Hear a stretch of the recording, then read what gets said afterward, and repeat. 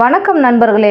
தங்கத்தமிழச்சி சேனலுக்கு உங்களை அன்புடன் வரவேற்கிறோம். இன்றைய பதிவில் நம்ம பார்க்க போகிறது திருப்பதி வெங்கடாசல பெருமாள் கோயிலில் தினம் தினம் கருவறையில் நடக்கக்கூடிய அதிசயங்கள் என்னென்ன என்பது பற்றி தான் இந்த பதிவில் நம்ம விளக்கமாக பார்க்க போகிறோம் அதுக்கு முன்னாடி நம்ம சேனலை முதன் முறையாக பார்க்குறவங்களா இருந்தால் சப்ஸ்கிரைப் பண்ணாத நண்பர்கள் சப்ஸ்கிரைப் பண்ணிக்கோங்க. இப்போ வாங்க வீடியோக்குள்ளே போகலாம். வருஷத்தில் ஒரு முறை தான் நம்மளில் பலரால் திருப்பதி செல்ல முடியும். அதிலும் அங்கு இருக்கும் கூட்டத்தில் பல மணி நேரம் காத்திருந்து பின்னர் தான் சாமியை தரிசிக்கவே முடியுது. அதுக்குள்ளே பார்த்திங்கன்னா அங்கே இருக்கிறவங்க ஜருகண்டி ஜருகண்டி என்று கூறி நம்ம பிடிச்சு வெளியில் தள்ளி விட்டுருவாங்க. கூட்ட நெரிசலில் கோயிலை விட்டு வெளியில் வந்த பிறகு தான் அடடா இதெல்லாம் சாமி கிட்ட வேண்டலாம்னு இருந்தோமே எல்லாத்தையும் மறந்துட்டோமே ஆமாம் சாமி என்ன அலங்காரத்தில் இருந்தார்? ச்சே சரியாகவே தரிசனம் செய்ய விடலை என்று எல்லோருமே அங்காளாச்சு இருப்போம். கூட்ட நெரிசலால் தான் சாமியை சரியாக பார்க்க முடியல. அவரிடம் நம் பிரார்த்தனையை சொல்ல முடியல என்று நம்ம நினச்சிட்டு இருப்போம். ஆனால் அதெல்லாம் உண்மையா? என்றால் நிச்சயம் இல்லை. சுவாமியை நான் தரிசிக்கும் இடத்துல இருக்கோம். ஒரு விசேஷ சக்தி தான் இப்படி ஞாபக சக்தியோடு விளையாடுகிறது என்று கூறுகிறார் டாக்டர் ரமண தீட்சிதர். இதை கேட்பதற்கே ஆச்சரியமாக இருக்கிறது அல்லவா நம்மை மட்டும் ஒரு நொடி கூட முழுமையாக சாமியை பார்க்க விடுவதில்லையே. ஆனால் இவர்கள் எல்லாம் அதாவது கோயில் அர்ச்சகர்கள் தேவஸ்தான அதிகாரிகள் இவர்கள் எல்லாம் மட்டும் உள்ளேயே இருந்து மணிக்கணக்கில் சுவாமியோட இருக்கிறாங்களே என்று சிலருக்கு பொறாமை கூட இருக்கும். ஆனால் அவர்களுக்கும் இப்படித்தான் நினைவுகள் அழிக்கப்படுவதாக ரமண தீட்சிதர் குறிப்பிடுறாரு.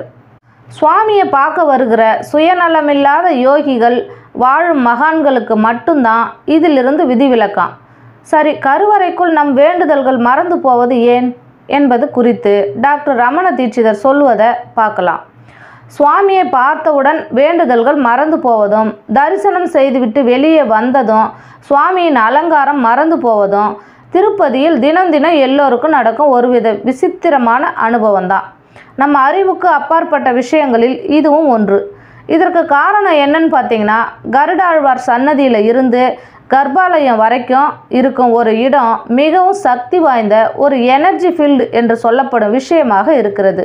இந்த எனர்ஜி ஃபீல்டு என்பது ஆகமத்தில் சொல்லியிருக்கும் வகையில் நித்தியமும் சுவாமியை தரிசிக்க கோடானு கோடி தேவர்கள் கிண்ணரா கிம்புருஷா கருடா கந்தர்வா சித்தா சத்யா யட்சா ராட்சசா முதலிய இனங்களை சேர்ந்த தேவதைகள் எல்லாரும் சுவாமியை தரிசித்து கொண்டு இருப்பார்கள் என்றும் சுவாமி அஷ்டோத்திரத்தில் வரும் நாமப்படி ஸ்வேத தீபம் எனும் ஒரு முக்தி அடைந்த சித்தர்கள் வசிக்கும் இடத்திலிருந்து சித்தர்கள் நித்தியமும் சுவாமியை தரிசித்து கொண்டு இருப்பார்கள் என்றும் குமாரதாரா என்ற தீர்த்தத்தில் எப்பவும் தவத்தில் இருக்கும் ஸ்கந்தன் எனும் முருகப்பெருமான் தினமும் சுவாமியை தரிசிப்பார் என்றும் பல தேவதைகளும் கர்ப்பகிரகத்தில் சுவாமியை வணங்க வருவார்கள் என்றும் அப்படி வருகின்ற தேவதைகளுக்கு பௌதீகமான சொரூபம் இல்லை என்றும் அவர்கள் சக்தி சொரூபமாகவே சூட்சம ரூபத்தில் வந்து அங்கு கர்ப்பகாலயத்தில் இருப்பார்கள் என்றும் அவர்களுடைய வருகையினால் அவர்களுடைய இருக்கையினால்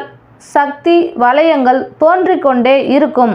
இப்படிப்பட்ட தேவதைகள் இருக்கும் சக்தி வலயங்களுக்குள் மனிதர்கள் செல்லும்போது மனிதர்களின் அறிவு அலைகள் ஆல்ஃபா வேவ்ஸ் இந்த சக்தி வலயத்தின் தாக்குதலால் ஸ்தம்பித்து போய் விடுகிறது.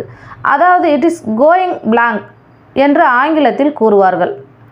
அதனால் அவர்கள் சுவாமியிடம் என்ன வேண்டும் என்று கேட்க வந்தார்களோ அந்த விஷயங்களை மறந்து விடுவார்கள். அதே சமயத்தில் கருவறையில் சாமியை தரிசித்த ஞாபகங்கள் மூளையில் தங்காமல் துடைத்து விடப்படுகிறது. இந்த இரண்டு நிகழ்ச்சிகளும் சக்தி வலயத்தின் மிக தீவிரமான தாக்குதலால் ஏற்படும் மாற்றங்கள்.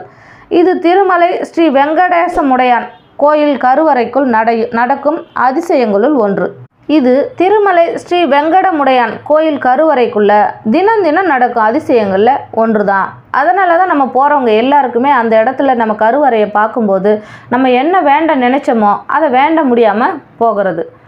இப்படி பல அதிசயங்கள் திருப்பதி வெங்கடேச பெருமாளின் கோயிலுக்குள் நடந்து கொண்டு தான் இருக்கின்றன. இந்த பதிவு உங்களுக்கு பிடிச்சிருந்ததுன்னா எங்கள் சேனலை மறக்காமல் சப்ஸ்கிரைப் பண்ணிக்கோங்க. மீண்டும் வேறொரு பதிவோடு சந்திப்போம். நன்றி.